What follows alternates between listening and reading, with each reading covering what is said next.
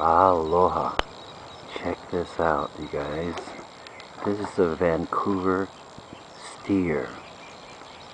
Hawaiian say pipipo'a. A bull that has been, or cattle that has been castrated.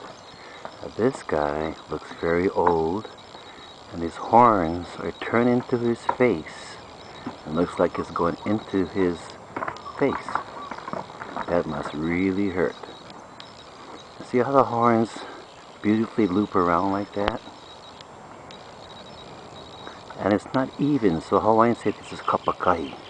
It goes beneath his eyes, his maka, above his nose, his iho.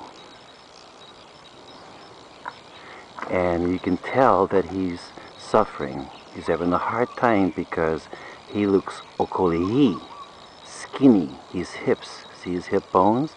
Skinny. So this guy is probably suffering very much from the horns that's going into his head.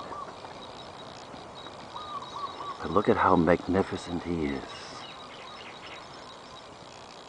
I thank Akua for this time he can share this animal with us. Kamehameha, Captain Vancouver. I think I'm going to go call Dr. Billy Bergin, our veterinarian, to see what would be the most humane thing to do to help this beautiful, beautiful animal. Wow.